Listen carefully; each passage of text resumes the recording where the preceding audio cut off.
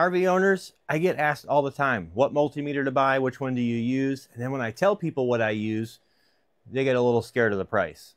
And that's understandable. You guys aren't doing this all day, every day, but some of the features on that meter are super important for diagnosing circuits within your RV. Told you guys you can use the cheap $6 ones if you want. That's fine. They still do the job. But if you want all of the same features for diagnosing and maintaining your RV's electrical system that my meter has in a cheaper package, check this guy out. I actually was really excited about this thing. They sent it to me.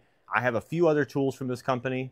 I've used their oscilloscopes. I've used their portable power supply. I was impressed with those, but this little thing takes the cake.